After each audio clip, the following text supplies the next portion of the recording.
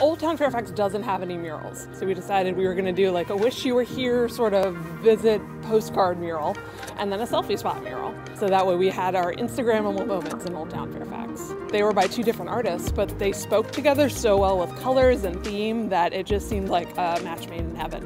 I've been part of this community for a while. I've got my studio here, so public art to be like a distinguishing part of the community you know, make people feel connected through shared experiences. The opportunity is like a, you know, it's like my love letter to the city of Fairfax. I love the city. I love the people here.